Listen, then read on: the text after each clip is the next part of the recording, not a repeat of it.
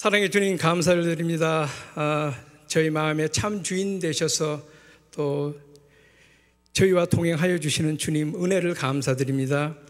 이 시간 저희들 그동안 준비한 찬양을 통해 주님 영광 돌리고자 합니다. 또한 이 시간 찬양을 통하여 성도 간의 교제가 더욱 돈독하여지며 또 아름다운 시간 되기를 기도드립니다. 또한 결과로 인하여 상처받는 소그룹과 성도님 얻게 하여 주셔서 오직 은혜 풍성한 가운데 맡을 수 있도록 주님께 간구드리며 시종을 주님께 의탁드리며 이 모든 말씀 우리 주 예수 그리스도 이름으로 기도드렸사옵나이다. 아멘.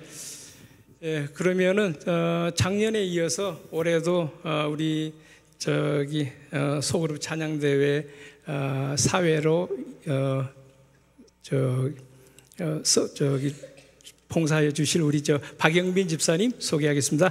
많은 박수로 환영해 주시면 감사하겠습니다.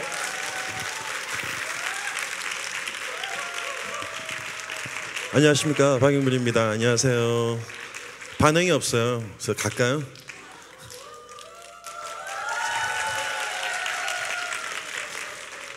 신이 안 나요. 자꾸 이런 식으로 하시면 아시겠죠?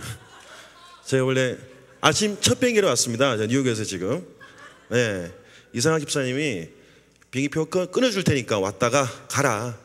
네. 자, 집사님 직접 저를 공항에 모셔다 주신다고 하셨어요. 좀 이따가 행사 끝나면 바로 갈 겁니다.